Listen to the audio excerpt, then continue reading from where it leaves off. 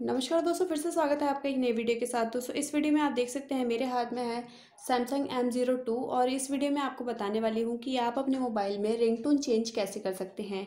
तो रिंगटोन लगाने के लिए यहाँ पे आपको चले जाना है सेटिंग पे और सेटिंग पे जाने के बाद यहाँ पे आप ऐसे स्क्रॉल करेंगे तो यहाँ पे आपको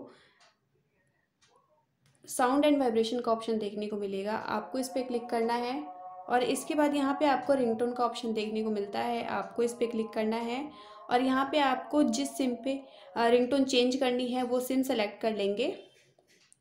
और इसके बाद यहाँ पे आपको काफ़ी सारे रिंगटोन देखने को मिल जाते हैं, आप यहाँ से सिलेक्ट कर लीजिएगा।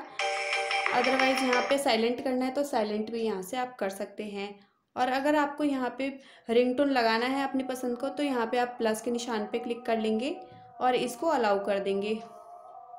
तो यहाँ पे आपको जितने जो भी एल्बम वगैरह में से भी ले सकते हैं, आर्टिस्ट में से ले सकते हैं, फोल्डर में से ले सकते हैं तो यहाँ पे मैंने दो तीन गाने डाउनलोड कर रखे हैं तो डाउनलोड पे चली जाऊँगी और इसके बाद यहाँ पे